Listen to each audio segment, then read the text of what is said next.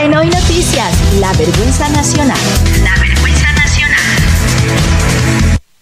Para este informe que les voy a contar, no voy a, a presentarles los audios, uno para que no nos tumben la transmisión.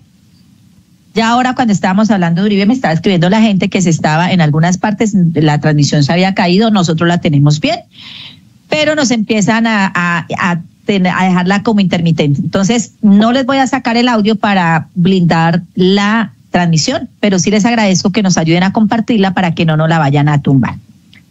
¿Dónde está Cristian Giraldo? Que tanto lo aprecio.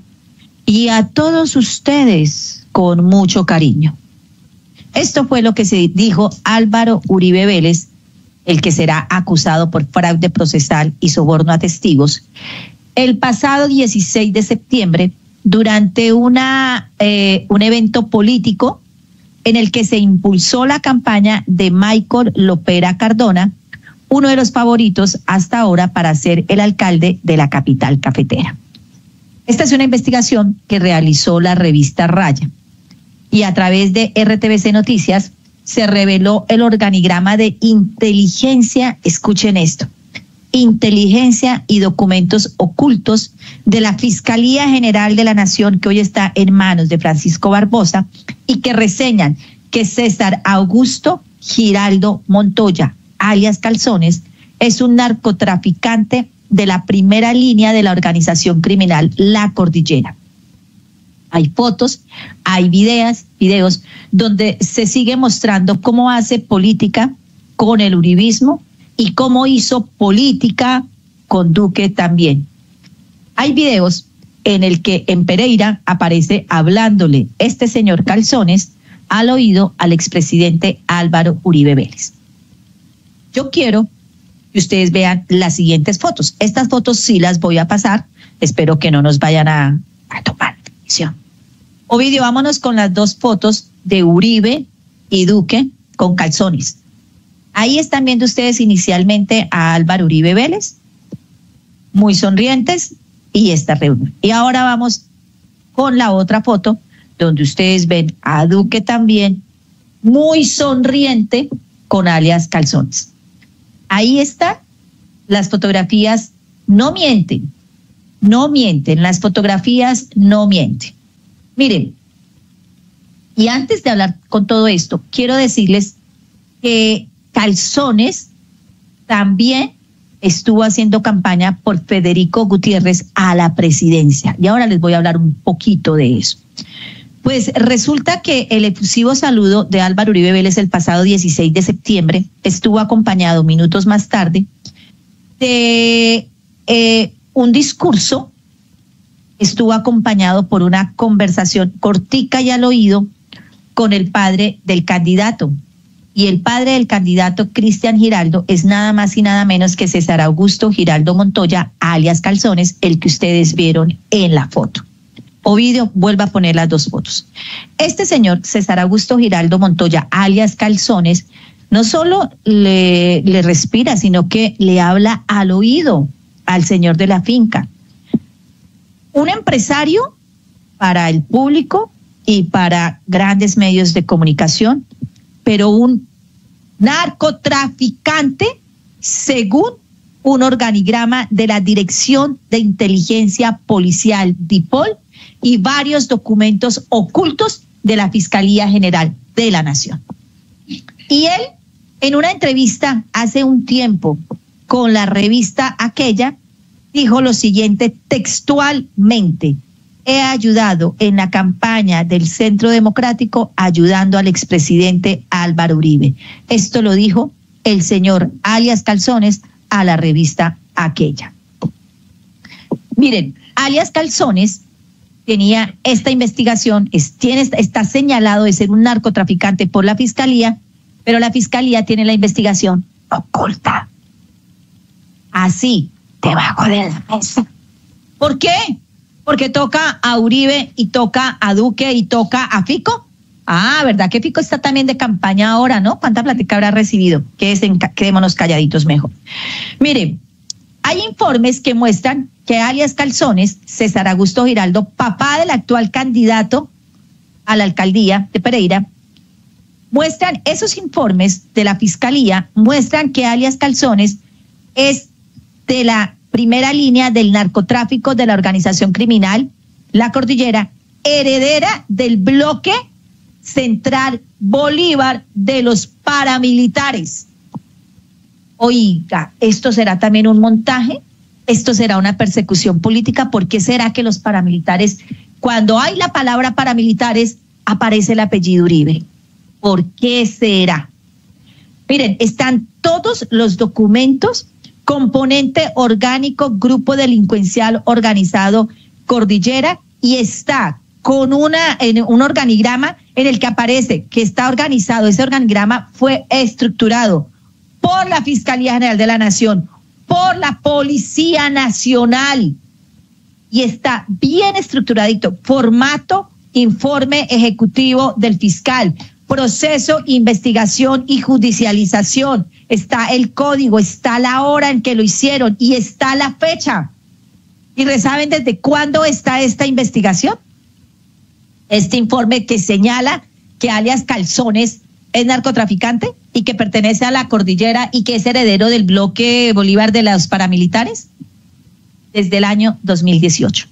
¿Quién estaba en el poder en el 2018? ¡Ay, el Duquesuelo! ¿Y quién aparece en la foto? Eh, Ovidio, ponga por favor Duque y Calzones.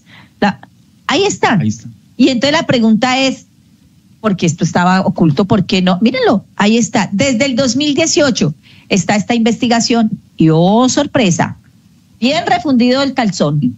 Miren, ese organigrama de la fiscalía que muestra a César Giraldo como uno de los hombres de esa, de la primera línea de esa organización criminal heredera del bloque central Bolívar de los paramilitares. Es clarito el organigrama. Y el video ustedes lo pueden ver en el canal de YouTube de la revista Raya. Se titula El expresidente Álvaro Uribe Vélez con alias Calzones. Y ustedes lo van a ver ahí, abrazados, sonriente, expresándole su cariño y ambos hablándose al oído. ¿Será que Uribe tampoco sabía que Calzones era narcotraficante? Oiga, de verdad que la espalda de Uribe es de este tamaño y los oídos son de este tamaño. Él nunca escucha, él no se da cuenta de nada. Él debe sufrir de miopía testicular, como dice el padre huérfano, porque no ve nada. Sufre de miopía testicular, tiene oídos chiquiticos y tiene una espalda así de gigante porque todo es a sus espaldas.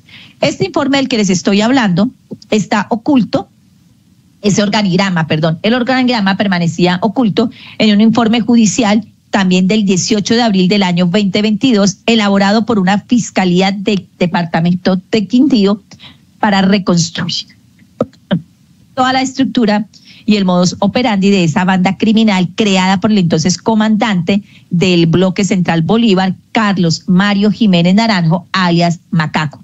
En el documento de, la, de esa fiscalía, no solo se detalla el poder que adquirió la cordillera desde su creación en el año 2005, sino también las tres generaciones de cabecillas que han sostenido el control criminal en tres grandes regiones de Colombia hasta la actualidad. El eje cafetero, el norte del valle y el sur del Chocó. Giraldo, o alias Calzones, figura en ese informe como uno de los principales aliados del actual jefe máximo de la cordillera, Diego Fernando Ruiz Quintero, alias Diego Pereira Odoná. Pues miren, la pregunta es, ¿por qué la fiscalía tenía esto guardado? ¿Por qué si se conocía? ¿Por qué si se sabía quién era este señor? ¿Por qué si se sabía de sus alcances? ¿Por qué estaba guardado esto? ¿Y por qué alias Calzones, propietario de la consignataria Autos La Avenida en Pereira, en la ciudad de Pereira, quien estaría realizando actividades de lavado de activos para la cordillera a partir de la venta, la comercialización de vehículos, como lo dice el documento de la Fiscalía? ¿Por qué esto estaba escondido? Esto está desde el 4 de abril del 2020, del 18 de abril del 2022. Desde el año pasado, estando Duque en el poder y la foto de Duque con calzones y la fiscalía diciendo que calzones es un narcotraficante. La pregunta es a qué estaban respondiendo. El informe de la DIPOL es tan detallado y tan complejo para la misma fiscalía porque menciona a uno de los narcos invisibles de esta línea de criminales, alias Diego Pereira, sino que también describe la cronología de todas las actividades desde que al mando estaba el paramilitar Carlos Mario Jiménez, alias Macaco. Y es tan claro como lo hace el, toda la injerencia que ha tenido este señor, alias Calzones. Alias Calzones se hizo famoso el año pasado en plena campaña presidencial cuando el hoy presidente de Colombia, Gustavo Petro, denunció públicamente que Giraldo y la organización La Cordillera tenían un plan para asesinarlo durante un recorrido que realizaría por el eje cafetero. Giraldo o Calzones expuso en dos medios masivos de comunicación, y les voy a dar el nombre, Blue Radio y Revista Semana, que él simplemente era un empresario y no un narcotraficante y que no tenía nexos con dicha banda criminal. Y hoy conocimos que hay un informe de la policía, de la fiscalía, donde sí lo tienen reseñado como narcotraficante y además heredero de la, ser miembro de la cordillera, heredero de los paramilitares. Yo quisiera ver el explosivo titular de la revista aquella hoy. ¿Ah? En ese momento, alias Calzones dijo, soy una persona muy tranquila, no tengo chofer ni escoltas. Desde que salió la nota del espectador he recibido amenazas, la vida me cambió, soy una persona que hace negocios lícitos, pero me pusieron en la boca de todo el mundo. Fue lo que señaló al director de Mañanas Blue, Néstor Morales, quien a su turno afirmó que le estaban creando un prontuario a su entrevistado. En ese momento, el año pasado, en plena campaña, el director de Mañanas Blue señaló, es que a usted le están creando, le están montando todo un prontuario. Y se refirió que quienes le estaban armando ese prontuario era desde la campaña del candidato Petro. En ese momento, Calzones hacía alusión a una investigación que donde lo vinculaban con el narcotráfico. No soy prestamista ni nada de lo que dice Petro. Ahora soy yo el amenazado.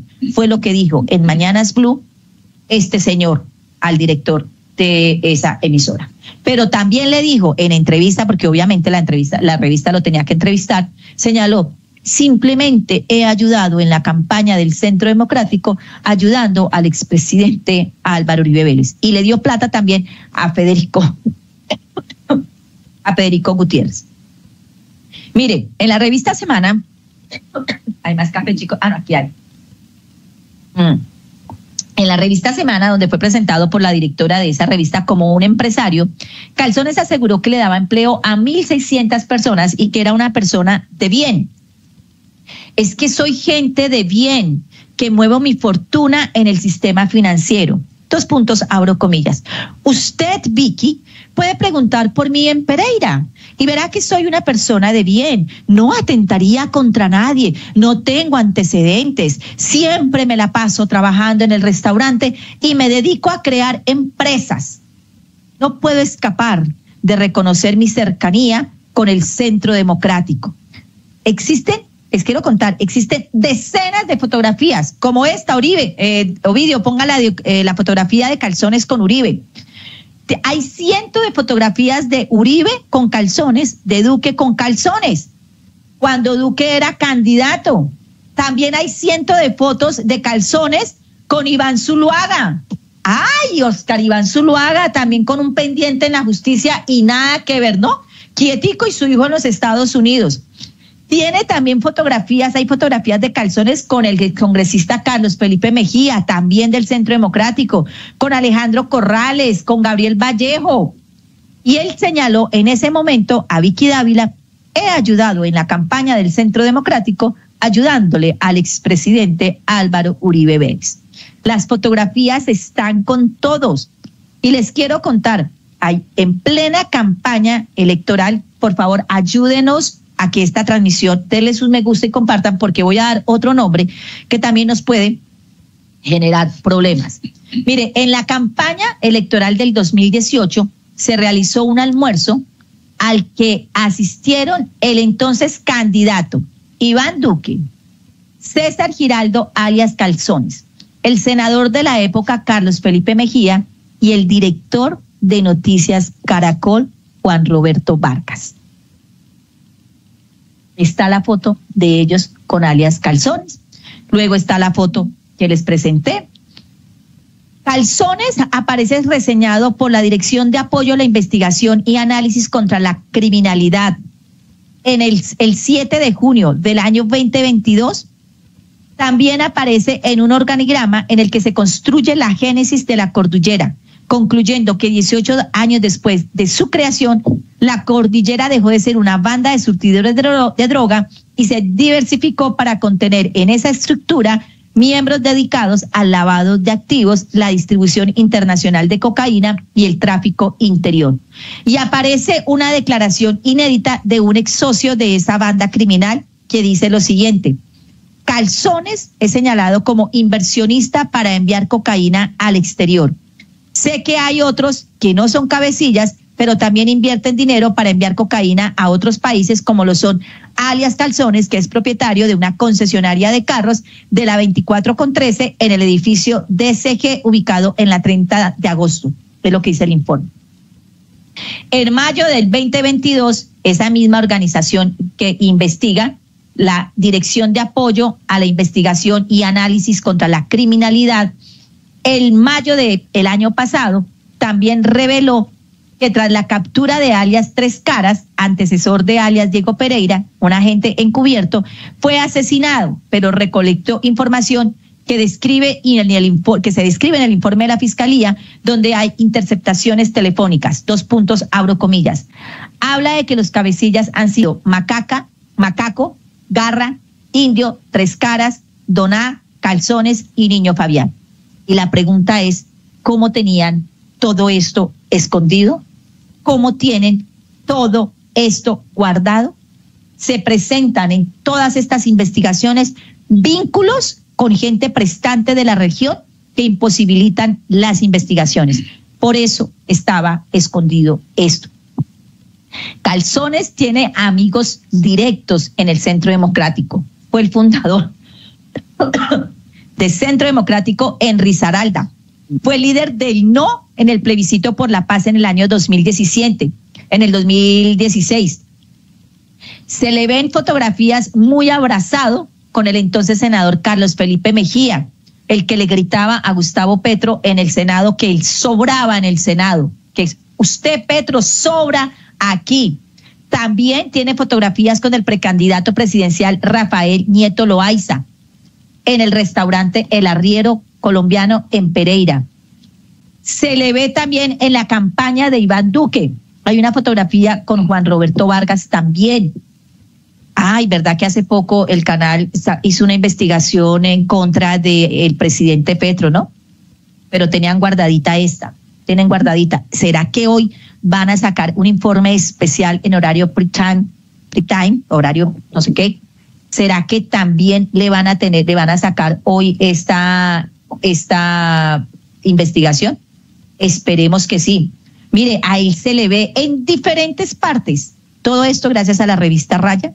Se le ve en diferentes eventos, se le ve en giras.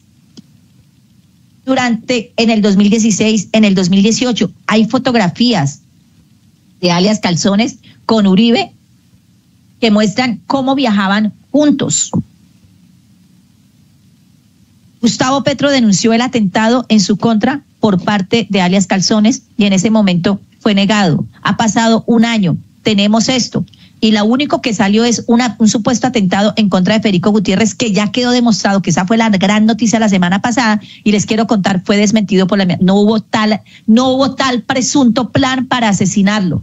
Los famosos 2.500 millones de pesos que habían pagado para un atentado resultó falso, resultó mentira, no hay una sola prueba de que eso hubiese existido. Pero este atentado que estaba con este señor lo desvirtuaron en ese momento y hoy queda claro que este señor sí es de la cordillera. ¿Ah? ¿Qué va a pasar entonces ahora? Nos preguntamos hoy si va a haber investigación, si esta va a salir a la luz, si se va a investigar porque esto se quedó guardado. Y César Giraldo Montoya, alias Calzones, dio plata también para la campaña de Federico Gutiérrez. Y ya quedó demostrado que la plata de él viene de eh, inversiones para exportar cocaína y del lavado de activos. Ustedes creen, muchachos, con el corazón en la mano, que esto va a ser un titular explosivo. y, busquemos en el, en el Twitter de la revista aquella si ya, si ya mencionaron algo. ¿Qué creen ustedes que va a pasar con eso? No, eso va a pasar por alto, normal. No van a hacer mención ni nada porque igual ellos hacen parte de todo, de todo ese clon, clongomerado, clongomerado. Y les cuento una cosa, a Nicolás Petro le están investigando de todo. ¿Y sabe quién se reunía también con políticos y con Giraldo calzones en los restaurantes, en el restaurante de él?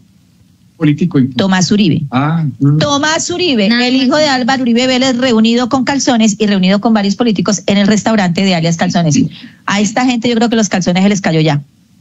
Uno era porque tenía visa y el otro porque es un comercial. Ajá. El ñeñe no era narcotraficante porque tenía visa. Y este no es narcotraficante porque es que la fiscalía nunca mostró el informe. Pero eso sí, las fotos abundan. Jota, ¿usted qué piensa de esto? No, ellos tienen un entramado allí, que es, eh, es un entramado entre la revista, revista y todo eso, y eso no va a pasar nada tampoco. Porque es que entre ellos mismos se cuidan, ¿no? Se cuidan como las espaldas y no va a pasar nada entre ellos. O bueno, ojalá pase algo. Lo que pasa es que también la fiscalía está también como muy unido también a, a lo que tiene que ver con esta revista y, y, se tapan, entre ellos se tapan.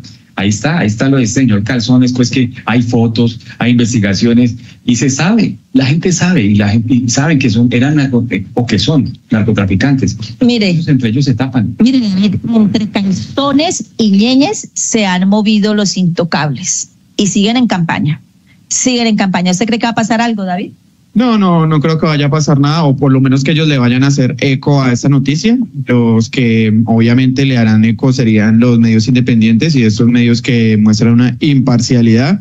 Pero pues obviamente esto no atiende a los intereses de Semana y a sus publicaciones y ellos no van a sacar el titular explosivo de esto porque va en contra y va en contravía de, se podría decir, sus jefes. Tremendo descubrimiento, la fiscalía lo tenía bien guardado, tapado. Sí, señor. ¿Han publicado algo la revista aquella sobre esto? Lo único que han publicado después que un beso que se dio Marcelo Cezán con otro, no sé. Mejor dicho, a punta de farándula. Eso es pues, lo último que han publicado. Ahí les cuento, esta es la realidad de lo que se está viviendo. Hoy la pregunta es, entonces, señores Fiscalía General de la Nación, ¿qué respuesta nos tienen? ¿Qué nos van, cómo nos van a mostrar? Eh, qué fue lo que pasó, por qué estaba esto eh, guardadito. El restaurante de calzones El Arriero, de acuerdo con la investigación que hizo la revista Raya, es el centro de operaciones del uribismo en Pereira. Es una, una, la cercanía de Uribe con calzones en el eje cafetero y especialmente en Pereira es reconocidísima. Su restaurante es reconocido por ser el centro para las reuniones políticas, los eventos proselitistas del Centro Democrático. Allí en el rancherito antioqueño, que es propiedad de alias Calzones, mm. desde el año 2014 se realizan todas las actividades del Centro Democrático. El arriero colombiano, como es conocido eh, alias Calzones, pues eh, tiene muchos cuestionamientos el restaurante también, el arriero colombiano, está plagado de irregularidades y es en Pereira un secreto a, gritos donde dice que desde allí se han conducido los hilos políticos de la región y que los más mm, no, no, no voy a decirlo, no voy a decirlo, y que allí se han reunido personas de dudosa procedencia. Pilar, en esos restaurantes, eh, en las afueras de las ciudades como Pereira, Armenia, bueno, muchas ciudades, Cartago y todo esto, eh, esos restaurantes los, los, utilizaban para las reuniones de los mafiosos. Para ellos allí, eh, a veces inclusive también llegaban allí a asesinar a estos, a estos mafiosos de otro grupo, ¿no? Cuando ya, la, cuando ya ellos, entre ellos mismos estaban cascando entre ellos mismos, llegaban y... ¿Usted se acuerda cómo murió el Ñeñe Hernández? ¿Se acuerdan cómo murió? por el ñaña en Brasil por robarle un reloj. Pues miren, la historia del, restaurante El Arrero Colombiano de propiedad de Calzones, su antiguo nombre era Rancherito Antioqueño, está marcado por algo, porque resulta que ese restaurante Rancherito Antioqueño pertenecía a un conocido comerciante y caballista llamado Hernando García Sepúlveda, quien fue asesinado en un local de su propiedad allí en Pereira en octubre de 2015, presuntamente en medio de un hurto cometido por personas cercanas a él. Si ven por qué les digo que tanto testigo, tanto muerto. Bueno, esto es, y si yo les, mejor dicho, es que lo único que les puedo decir es, ¿para cuándo era que la Fiscalía General de la Nación va a actuar? Va a actuar. Todos los nexos del paramilitarismo y el narcotráfico, y el narcotráfico, todos los caminos conducen a Roma. Parece que los caminos del paramilitarismo y del narcotráfico no precisamente conducen a Roma, pero conducen a una parte muy tremenda. En Hoy Noticias, la vergüenza nacional. La vergüenza